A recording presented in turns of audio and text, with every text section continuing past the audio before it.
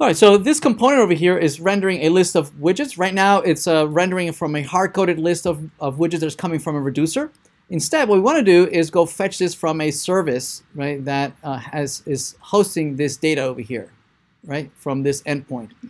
Uh, so to do that, right, what we can do is um, is no, get notified when we have a, a, when we are being loaded, right, when we are being mounted uh, using the component did mount, right, we can be notified that we got we we are about to be rendered, right. So this is a good time to go fetch all these all these widgets. We can say, you know, find all find all widgets.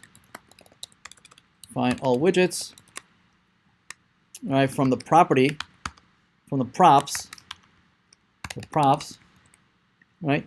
Uh, which presumably were were uh, fed into us, right, from a from a reducer, right, from a from a mapper, which we can implement over here. So find all all widgets we can implement it right here. So this will be const uh, dispatcher to a property mapper.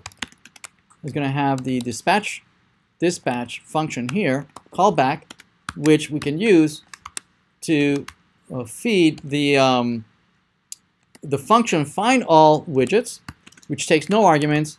And here is where we can go out to the server and fetch this information. From where? We're going to fetch it from this URL. So let's grab that. And we can do a fetch. Fetch. And this is that. that's the URL, which is going to uh, come back with a response. And we're going to re uh, return the JSON parsed. Uh, JSON. And once we parse that, these are going to be the actual widgets from the server, right?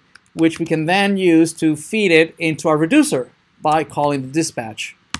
Dispatch and send a notification to the dispatcher that hey we find we found all widgets. That's the type of the event. Uh, and we can pass in the widgets in the action, right, the actual widgets. Right, so we can send it to the dispatcher. Right? The dispatcher can then use that information to change the state, to update the state.